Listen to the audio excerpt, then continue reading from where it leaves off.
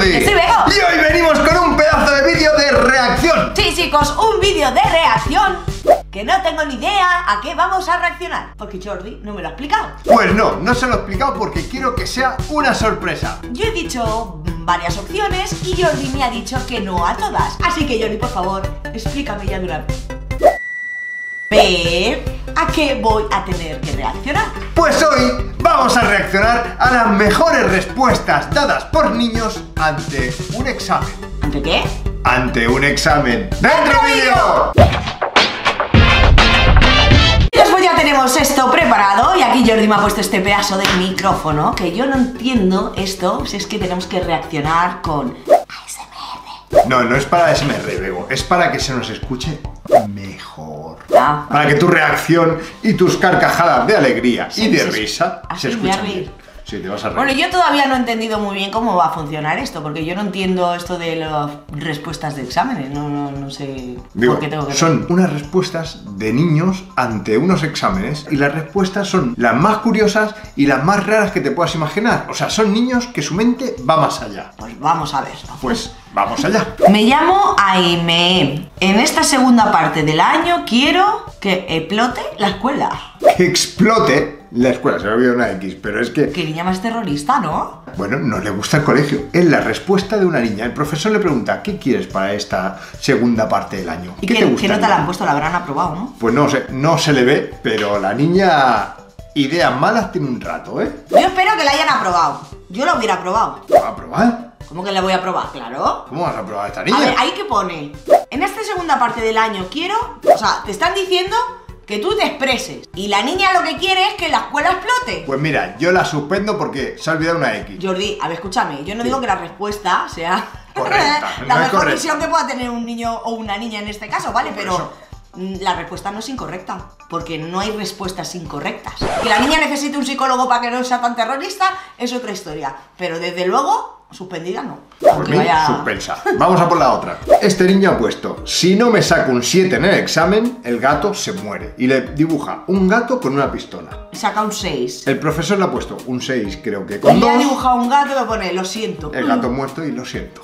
Bien, profesor, bien, bien. Ole tú, ole tú. Ha estado gracioso lo del niño como diciéndole Mato Sí. al gato si no me aprueba con un 7 Y el profe Pues le ha dicho, pues el gato está Chantaje cero, ¿eh? siete". O sea, a mí no me venga con chantajes. Me Ala. gusta la respuesta del profe Ya verás la siguiente, Bego. A ver, dictado 1, paso 2, aseo 3, pastel 4, Apio, apio apio. Apio 5, Alan, siéntate No era, se lo dije a un alumno Sí, esto es un dictado. El profe le dice a la clase, Ah. oye, vamos a hacer un dictado. Empieza a decir palabras. La primera, paso. La segunda, seo. La tercera, no sé qué.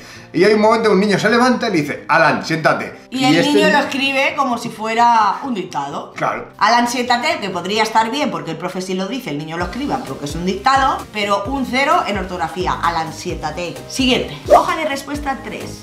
Observa el siguiente sistema de ecuaciones. 2x menos igual a 6, 4x más 18 igual a 2y. ¿Tiene solución? Sí. Argumenta tu respuesta. Todo tiene solución en la vida. Es brutal, es brutal. pues tiene toda la razón del mundo. Sí. Se lo habrán aprobado, ¿no? pues no sé, no he visto la nota, digo. Hombre, argumenta tu respuesta. Esa es su argumentación. Y equivocado no está el niño. Hombre, yo creo que el chaval ahí un poco ahí... No, ha ido de plata. ¿eh? Bueno, se ha emocionado Pero- lo que tú quieras, pero ¿tiene razón o no? ¿Está sí. bien argumentada? Sí, sí, sí. pues ya está.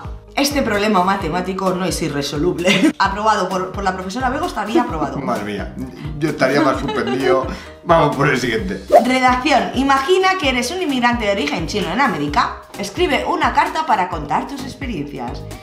Y el niño va y lo escribe todo en chino. Claro, sí, se supone que es un inmigrante chino, ¿no? Claro, Yo- él imagina y entonces te dice, lo escribo en chino. Si está mal no te vas a enterar porque como está escrito en chino, Yo, chino parece, no sé si está bien escrito. aprobado. Chino Este ha sido listo. Yo lo hubiese suspendido. ¿Por qué? Porque chino se escribe de arriba abajo y esto parece que era escrito de izquierda a derecha. Eso lo dices tú. Porque yo lo veo y está. Hasta estaría perfecto. Mm, Yo ¿Está no. perfecto escrito en chino?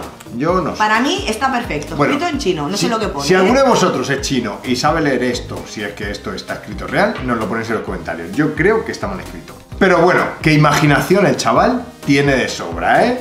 Siguiente, Bego. Siguiente. ¿Cuántos perros salen de la caja?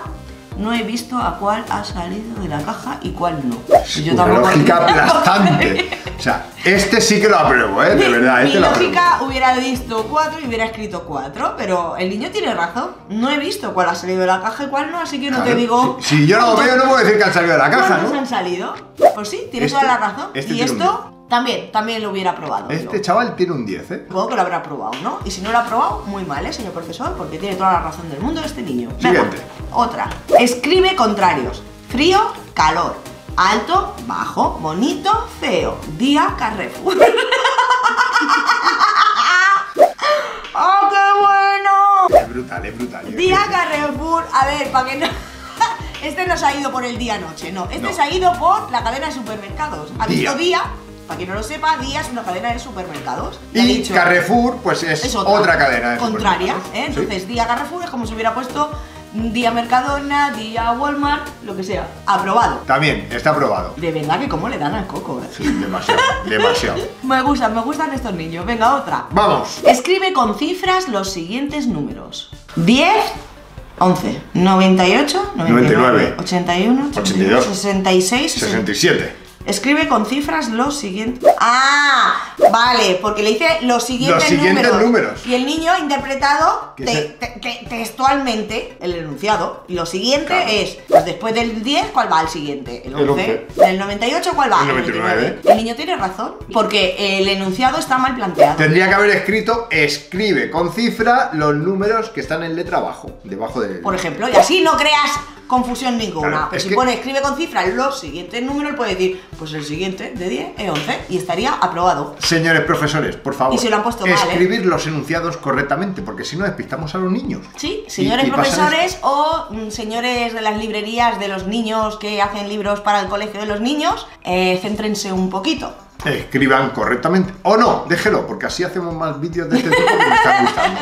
Vamos con la siguiente. A ver, ¿cómo podría dejar caer un huevo en un suelo de cemento sin romperlo? Ojo, eh. Ojo. Como te dé la gana, anda que no es difícil romper el cemento. A ver, a ver, a ver, a ver, voy a leer Tú, otra tú lee, lee, Bego, lee. ¿Cómo podías dejar un huevo en un suelo de cemento sin romperlo? No, dejar caer. Dejar caer un huevo. Pues en un tiene solo toda la razón. y que no se rompa. Tiene toda la razón, es que otra vez vuelve a estar mal planteado ese enunciado. Pues sí, claro. Porque sin romperlo, si tú lo lees, como lo ha leído esta persona, Es sin romper el sin cemento. romper el cemento. El huevo sabemos que no va a romper nunca un cemento. No. Tendrían que haber escrito, ¿cómo podrías dejar caer un huevo sin romperlo en un suelo de cemento? Entonces se entendería que lo que no se debe romper es, Es el huevo, huevo, no el no el suelo de cemento. Así que, respuesta totalmente correctísima. A ver, yo, yo tengo que decir una cosa. Yo esta respuesta para un examen la veo un tanto rara, ¿vale?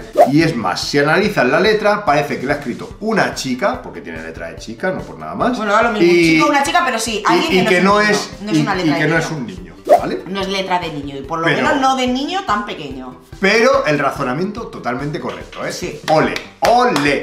También, para mí aprobada. Siguiente. A ver, examen de razonamiento. Sí, Le ha puesto un cero. A ver, ¿cómo Cero- ha razonado? No, no, le ha puesto 0, 0. Cero, cero. Nombre Marcelino, fecha hoy. Ya empieza bien. Fecha ¿Qué fe- hoy. hoy? ¿Qué fecha estamos Qué hoy? A ver, ¿en qué batalla murió Napoleón? La ha puesto mal en la última. ¿Va en serio? O sea, no, no murió en la, en la primera, no, murió en la última. En la, ulti- en la última de participó y lo mataron. Pues en sí, esa. sí, sí, murió, murió. Correcto. ¿Dónde fue firmada la declaración de la independencia? Al final de la página. Claro. Como en todos los contratos se firma al final de la página. ¿El río Rabi corre en qué estado? Líquido. ¿En estado líquido? Claro. porque Como todos los ríos. Si es un líquido, pues corre en estado líquido. No es, Si es ni río- sólido ni gaseoso. No, es no, es líquido. líquido. ríos. ¿Cuál es la primera causa de divorcio? El matrimonio, qué bueno. Claro. Toda la razón. Si no te casas, ¿Pero por qué le están no suspendiendo te estas preguntas? ¿Qué no se puede comer nunca en el desayuno, el almuerzo y la cena? ¿Correcto? ¿A qué se parece la mitad de una manzana a la otra mitad? Normalmente suelen ser bastante parecidas. Si tiramos una piedra roja en el mar azul, ¿qué le pasará? Se Se mojará. ¿Cómo puede permanecer un hombre ocho días sin dormir? Durmiendo de noche. Pues sí. Ocho días. Claro, ocho día de días día, mientras hay sol. Cuando no hay sol, pues ya pues te duermes. ¿Cómo podemos levantar un elefante con una sola mano? Nunca vamos a encontrar un elefante con una sola mano. Claro. Esta no la entiendo, ¿eh? Tú tienes que levantar a un elefante con una sola mano, ¿sí? Hmm. Tú puedes levantar un elefante, ¿no? Sí. Pero un elefante con una sola mano. Bueno, yo no puedo. Yo ni, Bueno, ni nadie. Ya, ya, pero él, él ha enfocado de que no vamos a encontrar un elefante con una sola mano. ¿Lo entiendes? Nunca vamos a encontrar. Tú puedes levantar un elefante con una sola mano. O sea, primero tienes que encontrar el elefante con una sola mano. Yo esta con no- Una, con una sola mano se la adjudica a el sustantivo, el elefante. No es el verbo de levantar con una sola mano. ¿Lo entiendes? Bueno, entonces, ¿qué tendría que ser escrito? ¿Cómo podemos levantar con una sola mano a un elefante? Eso es. ¿Sí? Bueno, sí, si lo ves así, sí. Pues eso. Si usted tuviera tres manzanas y cuatro naranjas en una mano y cuatro manzanas y tres naranjas en la otra, ¿qué tendrías? Unas manos muy grandes. Claro, tendría unas manos gigantes, o sea, a mí no me cabe. O una fruta muy pequeña. Eh, También puede ser. También puede ser. También. Mm. Si necesitaran ocho hombres para construir un muro en 10 horas, ¿cuánto tiempo les tomaría a cuatro hombres construir el mismo muro? El mismo muro. Ningún tiempo porque el muro ya está construido. Claro, si lo han hecho los otros hombres. O Exactamente. sea, es brutal. Este tío razona de una manera. Es que, vamos, ni yo, ¿eh? ¿Cómo te llamas? No me puedo llamar solo, me llaman por mi nombre. Claro. Yo no me digo Jordi y hablo conmigo, ¿no? ¿Cómo te llamas? ¿Eh? ¡No! que yo no me llamo. No, no me puedo llamar, A me ti te llaman llaman otros. Bego. Oye, pues yo no entiendo. Pues acaba de ganar un cerapio de la leche este chaval. Y le no colocan inigualable. Pero es que por inigualable le tenías que haber puesto un 10, chaval. ¿Eh? Porque es un examen de razonamiento. Esto no es dime la respuesta correcta, es de razonar. Y el chaval te está razonando. Yo lo de inigualable, si miras la letra, parece que es la misma letra que ha contestado la respuesta del examen. Bego. Inigualable. ¿Vale? O sea, la tipografía se parece muchísimo. Mm, yo no sé hasta qué punto este examen es cierto o no es cierto. No lo sé. Hombre, la pinta del 00 de las X es la misma que el inigualable. Sí. Pero. No sé. A mí yo creo que esto es un poco fake. Pero bueno, Pero estado bueno, pero yo, si esto me lo presenta a mí un niño, bien. Lo apruebas. yo lo apruebo. Yo lo mato. apruebo, Yo lo apruebo. Vale, vamos con la siguiente. Soy una profesora muy blanda. examen de historia. Nombre Natalia París. Calificación y negativo. O sea, un suspenso, insufici- pero- Muy deficiente ya. Complete el enunciado. Simón Bolívar murió en enfermo. Enfermo, enfermo. Estaba enfermo el pobre cuando se murió, Bego. Está bien, complete el enunciado. ¿Enfermo? Sí. Pues te lo ha completado. ¿Qué quieres? Tú no le estás pidiendo la respuesta correcta. Yo no sé cómo murió Simón Bolívar, ¿eh? Pero. Pues enfermo. Igual ¿Sí te podía haber puesto en París o en lo que sea. Tú no le estás pidiendo que te diga el la lugar, el- el no, lugar. no el lugar, ni la respuesta correcta. Te está diciendo complete el enunciado. ¿Y qué puede venir en enfermo? Pues Simón Bolívar murió enfermo o en cama, cualquiera hubiera estado bien. O en una silla. ¿No? Simón Bolívar murió enfermo. Pues correcto. Es que vuelvo a decirlo, no hay respuestas malas, sino preguntas mal hechas, es. mal formuladas. Bueno, Bego, vamos con la última. Ah, ¿ya es la última? Sí, Vale, venga. venga, vamos qué por la última. A ver, última. ¿Puede un hombre reproducirse con solo un testículo? No, las chicas no lo encontrarían atractivo. Yo no sé esta respuesta de dónde la ha sacado. Buen ¿Vale? intento, le pone. No se la ha dado por mal contestada, no era la contestación que quería el profesor. Pero bueno, le ha puesto un 0,5. Yo, yo no se lo hubiera aprobado, sinceramente. Claro, yo tampoco. Porque claro que puede reproducirse. Ah, ahí está. Y eso de que las chicas no lo encontrarían atractivo, pues eso es lo que él cree, ¿eh? ¡Ah! Me voy corriendo. Y aquí lo que me extraña es la letra de buen intento que no parece un profesor. Pues no. Parece más bien de otro niño. Buen intenta, de hecho, ¿no? Así que mm, no sé también hasta qué punto es fake. Y bueno chicos, hasta aquí este vídeo de reacción de las mejores respuestas de exámenes. Pues a mí me ha encantado hacer este vídeo, la verdad que no me esperaba estas respuestas, yo no había visto esto en la vida y me ha gustado mucho reaccionar. Así que si os ha gustado tanto como a nosotros y queréis que hagamos una segunda parte, dejadlo en los comentarios. Y vendremos con más respuestas curiosas, divertidas y geniales de respondiendo exámenes. Pero esta vez te lo hago yo a ti. Bueno chicos, pues hasta aquí nuestro vídeo de hoy. Si os ha gustado ya sabéis. Dale muchos likes, compartir con todo el mundo y suscribiros. Chao, chao. Hasta la próxima. Hasta el próximo vídeo. Momenteros. Razonadores.